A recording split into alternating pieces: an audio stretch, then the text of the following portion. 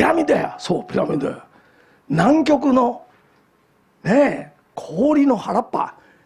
表現に広がるピラミッド。これはすごいもんですよ。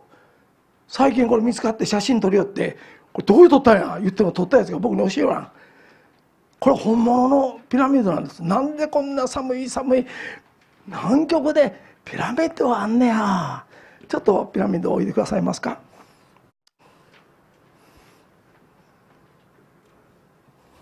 こっち置いてはいすいません。はいおきに。あのー、ピラミッドの形っていうものはねエジプトのピラミッド見て4つあるね。いや尋ねたいことはいつ誰が何の目的でどうして作ったのかということや。エジプトのピラミッド皆さんご覧になりましたか？中に入られたら。あすごいですよ。もう何千年も前はっきり言ってエジプト人が作ったんじゃないです。アラブ人が作ったんではないです。だから僕は宇宙人との関係がありますと言ってるわけです。完璧ですねこれは。でなんぼ調べてもいつできたかわからない。数千年前あるいは 1, 1万数千年前わからない。誰が作ったか今言ったようにわからない。エジプト人じゃないってことがわかる。何のためや？どうして作ったんや？一つだけ言いましょうか。ピラミッドと言ったらここに置いてもらいましたが上から見たらこうなってね。で頂上のここへ頂上。石をザーッと積み上げていくわけです。約270万個。一つの石が2.5トンや。どないして。ダンプカーも何もない時代。誰がどうしてこんなピシッと作ったんや。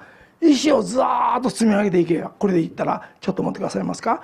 これでいったら250万個の石がずーっといく。ほんでこの頂上のところでピタッと合わなあかん。会えへんのが普通やで。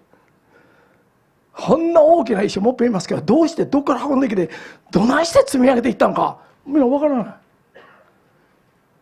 大林組っていうゼノコンがあるわほんでダンプ持ってきてやってこれを作ったのもうできない。もう圧倒的にものすごい費用がかかる。近代的な技術でもですよ。それできてるわけでちゃんと今もあるじゃない。エジプト行ったら。え？何のためにこんなん作ったんや？ちょっと重いけど持っててね。あ後でまた持ってください。すいません。あの高校にまっすぐこうなって。こうまっすぐなって嘘。実はこの角からこないなってんだよ弓形になってんだよこれが。ここ。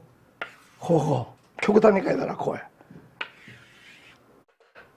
弓形に。まっすぐやったら潰れてくる。今言ったら何千年ですから1万年以上やったら潰れるね圧力で。270万高の石ですから。一つの石が2.5トンや。それで今そのままじゃない。ほんで今ここに弓形といったこうなってるわけです。こんな極端ちゃいますね今飛行機が発達したからあっピラミッドこれ弓形になってるんやほんでこれがずっとこっち行く。ここでは弓形やけどずっと広げていったら円になるわね。丸い丸い円。ものすごい大きな円になる。地球ですね。地球と同じ大きさなんです。誰がこんなこと計算して作ったんや。そうでしょ？こんな古代人が作ったもんなんやって皆さん思うかも分かりませんが不思議ですよ。地球と同じや。そして私が学校で習った。円周率3.14世界指数3.14で終わってないやな。本当はずこのピラミッドの中の数字は今あった円周率従ってるんです。なんで？なんでこないなってんだよ。そう。いろいろ不思議なことがいっぱいある。ちょっと写真見せてくださいますか。そこにちょっと貼ってくださいますか。そこどこでもいいです。後ろの方見えにくくて堪忍してください。これピラミッドです。でここに一つ一つの石があった先ほど言いましたが2.5トン。それがずーっと積み合わさって中に部屋があったり通路も皆あるわけ。ちゃんと計算計算し尽くされてる。そしてこの上の部分ここね先でピシャッと青いようになってるんですがこの下の部分は崩れてるわけです。表面の石は。そうでしょでもう何千年もこのままやけどもコンクリートも何も使うてへんのにもっぺんセメントやコンクリートも使うてへんのに石は崩れてこない。何なのと。ピラミッドってすごいですよ。さてもういいです。すいません。このピラミッドの誰が作ったか分かんない。誰が作ったか分かんない。目的は何か分からへんそしてどうしてこんなんできたんや。作り方も分からへん。ルーブル皆さんパリのルーブル。ここに行くとミケランジェロやラファエルや、ね、そういう世界の美術家工芸品しかももっと古いギリシャの時代のミロのヴィーナス。みんなこのルーブルに集まってるでルーブルっていうのは昔の王宮です。王様のその建物。その入ったところの入り口皆さん行かれたと思いますが今ピラミッドがドーン立ってるやん。ガラス張りや。なんでや？変でしょ？王宮の古いそれだけでも遺跡よ。その古い古い遺跡のルーブルの庭にって言ってもこう建物がこういうふうにこうあったらこの真ん中のところへ大きなピラミッドがドーンとガラス張れる。ああ綺麗やなと思う。なんで古い石造りのルーブルの建物と真ん中のピラミッドガラス張りの建物が一緒にあんのよ。一方はヨーロッパの建物。一方は今で言うたらエジプトや。なんなのあの？パワーなんですよ。これ知っといた方がいい。パワー。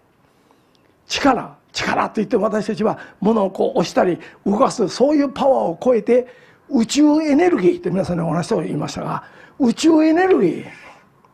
宇宙にはものすごいエネルギーが溢れてるのよ。だけど学校では教えてくれません。宇宙は真空や。何もない。生き物はいない。静かや。いろんな要するに宇宙とは死の世界や。嘘や。そんなんじゃないですよ。だから旧約聖書は諸々の天は神の栄光を表し大空は見ての技を示すと書いてある。いわゆる聖書を研究するキリスト教会やとかなんとかなんとかいう人たちも愚かにも宇宙は真空や死んだ世界やと教えとるの。違う。諸々の天は神の栄光を表しやから火星にしても水星にしても金星にしても言われてるような命がないなんて嘘。またいつか太陽について不思議なことをお話申し上げますが要はみんな生きてるんですよ。